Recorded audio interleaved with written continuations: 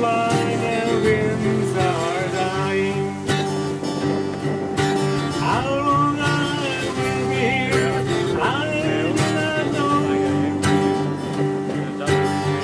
thing I'm sure of. Hi everybody, thanks for stopping by to check out the latest from Sailing Emerald Steel. In this video, we're going to be continuing with our series, sharing what we've learned and we'll be discussing our reefing system we have aboard Emerald Steel. And before we get started we once again like to thank all of you for all your comments and thumbs up on our last video. Thank you so much for all taking the time to comment. We appreciate it. Hi, in this video we will discuss Emerald Steel the way we're sailing her and she's a gaff-headed mainsail. That means she has a boom and she has a gaff. Now, when you lift her up, she different between Marconi and a gaff rig is, and a gaff rig is more square sail, where Marconi is a simple triangle. Now, sailing a gaff rig is actually quite a bit harder than a Marconi due to a much heavier gear, and also you have to sail her. Like for example, if you want to attack uh, Marconi rig, you pretty much uh, turn the wheel and she tack. Or a gaff rig, you have to sail into attack. That means you have to let your headsail get backwinded before you uh, let her go about. Our boat is a cutter. Her mast, it's stepped one third of a water length aft from the bow, while sloop mast is much more forward. Uh, cutter has a two headsails, which is staysail and a jib. Actually, she can have a third one, a flying jib while a sloop also can have a staysail and a jib and also can have a flying jib. So the difference between those two uh, rigs is where the mast stands. Uh, lifting a mainsail, it's quite a bit harder than lifting a Marconi rig, mainly because it's a, it's a larger mainsail. In our case, it's a 10 ounce, so it's heavy material. Plus the gaff is quite heavy, so it takes a, a some work because we're not using uh, winches, just uh, pulley blocks. So uh, we have a 3 to 1 uh, reduction, which helps some, but still some work. That's what keeps Jules nice and strong. Yeah, and uh, also remember that uh, it is this kind of rig is not for daytime sailing for a couple hours on the bay, but for long passages.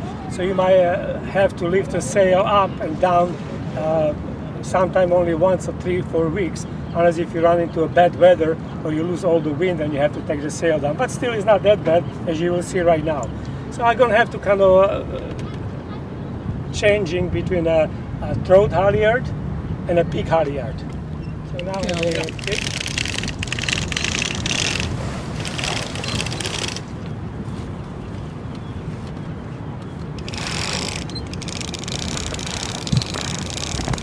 Yeah. This is a gaff, the peak halyard. Peak halyard's on the end of the gaff. The throat halyard's right at the throat of the sail.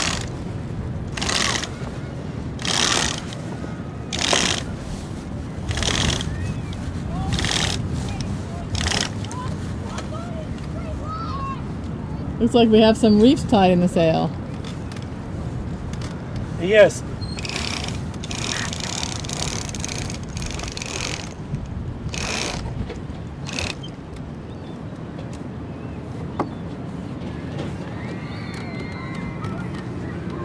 now our mainsail is up. She has a three reef points. This is the third one. We don't use that very often then here's the second one there is one more rolled in usually when we come to anchor and we take our sail down we like to put a second reef in so in the case because we're anchoring for sometimes several days sometimes even a week or two and we like to be prepared just in case the weather deteriorates and we have to sail out of anchor. Uh, we like to be prepared for stronger wind conditions because we found out it's much easier to take a reef out than put it in once winds already blow pretty hard. So our sail is always prepared when we lift it up for a, a stronger, stronger breeze. Here I'm taking a, a reef points out. Now remember, if you're on the ocean, then you got to do that always make sure you have a harness on you and you're tied to a boat right. because when you're standing on like this here and any wave comes there's no way you can hold uh, balance because once you get thrown you will be in the water before you know and it's not exactly a good thing to do.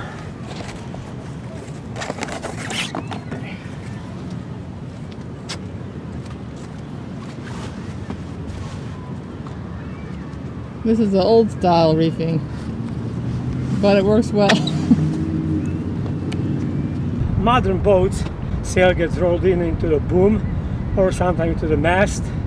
For those guys who have a, that kind of system, uh, what I'm going to be talking about right now doesn't apply. And if your gear should strip or something happen inside the boom or a mast, you have a trouble, so nothing is, uh, you know, 100%. Now, talking about reefing, in our boat, what we made it, which we believe is very good uh, system, is the reef line goes from uh, both sides of the boom. So in other words, your uh, line goes into a cringle goes to the other side. I have a cheek bag on the both sides, and the both sides go into the winch. The, what is good about it is two things. Number one, when the when the wind's coming the port side like it's right now, and the sail is blown into the starboard side, pull the reefing down from the port side. This way the sail doesn't blow on my face. I have a clear space to work, which is one thing. And the second thing is also when uh, out here, when you're pulling on the sail, because the sail is blowing away, it doesn't get pinched. Now, if the you will be pulling from the other side, then uh, it's very easy for that sail to get pinched because the sail will be on this side here. So it's very important to have that system like this here. Now, next thing is when I'm ready to when I'm ready to put the reef in, I pull by hand and then as much as I can and I have a jam cleat. The jam cleat hold the rope and then I can put her on a winch and I winch her down as necessary while the uh, jam cleat hold it and then when it's down where I want to do I can uh, tie it off on a cleat while the jam is still holding and I have a winch available for my second and third reef. So the jam cleat comes very handy so it's holding a line while you uh, moving lines between the uh, winch and the cleats. So this system I find it to be working very very well and I had uh, several cruisers with older type of boats who use that kind of system because most uh, uh, reefing uh, system is just one-sided and then you have to pull just from the one side doesn't matter which way uh, the wind blows. When sailing downwind, we reef our sail without changing course. Many sailors claim that when they're going downwind and they want to reef their sail, they have to turn into the wind. We feel this is a waste of time and not very safe to put your boat broadside to the seas, especially if the seas are high. Now, what we do when we go downwind, it's the same thing. You lower the sails down partially, so you have a big belly on the sail.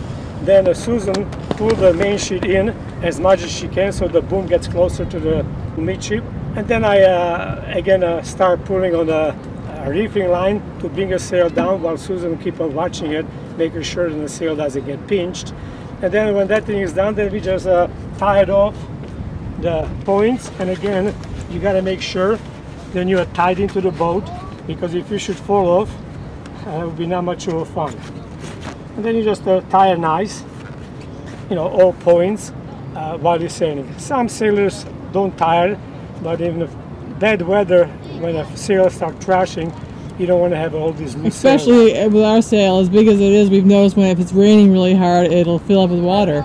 So uh, pretty much that is the uh, reefing system goes from both sides of the boom. This way you can always work from the windward side of the of the sail.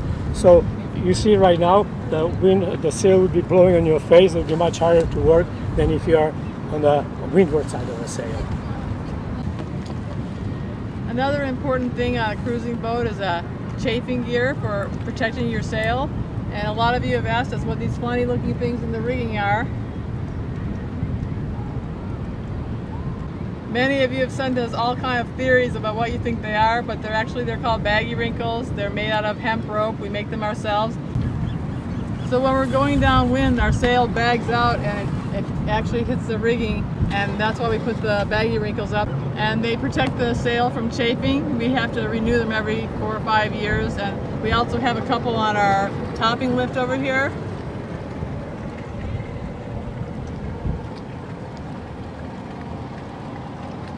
They're just there to prevent chafe on the sail.